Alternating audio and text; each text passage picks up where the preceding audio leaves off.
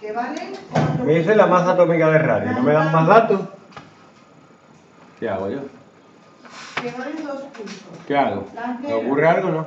que valen un pulso. De la La corchea, que yo la hago así, Pero. ¿vale?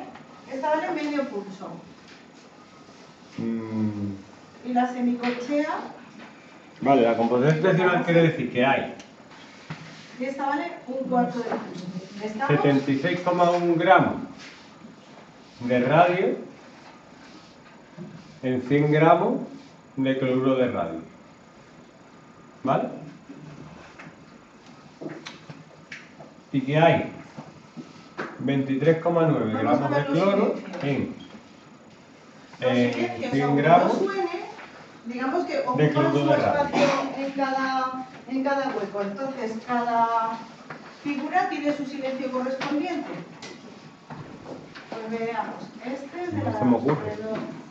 ¿Qué hago? ¿Mm? La-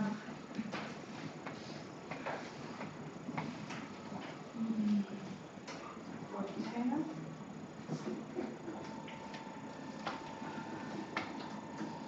Pero que tenemos que buscar.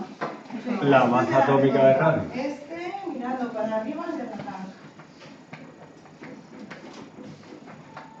La negra es este. Además, me dice que está en el grupo 2, Y esta es de la. ¿no? Esta es de la. Si está en el grupo 2, tiene que tener Valencia 2, así que a lo mejor la fórmula es así. ¿Sí o no? Vamos a rellenar los huecos. Y este cloro 1 aquí, radio 1 aquí. ¿Se puede ¿Qué hago? Me va a salir a voleo, ¿vale? Me va a salir a voleo. Pero yo, sabiendo las masas, vamos a ver. Vamos a ver. La composición centesimal es. O sea, el porcentaje este es.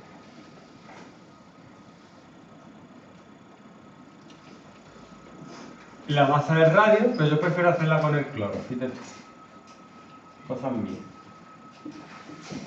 Esto quiere ¿Sabéis decir que La masa del cloro. que hay, que es 2 por Esto, ¿sabéis lo que significa y 35,5 cómo se traduce en sonido? partido la masa ¿Sabéis total. lo que, lo que Así. significa esto? ¿Y la masa total cuál es? En lo que esto tiene medio pulso, ¿sabéis lo que es? Más la de radio. ¿Estás de acuerdo o no? No sabéis lo que sí. Si yo El porcentaje por de cloro es en este el cloro escribo entre el total. Quiero. Una redonda. Ya tengo cuatro pulsos, por tanto, esta, esta parte está completa. Cada parte tiene que tener, perdón, perdón, tres de cuatro, perdón. Tengo que tener tres en cada una de ellas, perdón. Pues entonces en esta tendría, podría poner, por ejemplo, una blanca y una negra.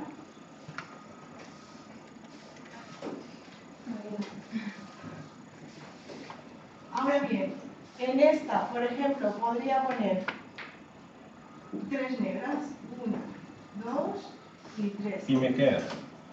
¿Vale?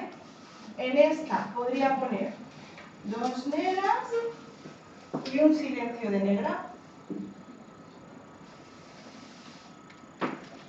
Porque el silencio ocupa su espacio, Ahora, pero no eso.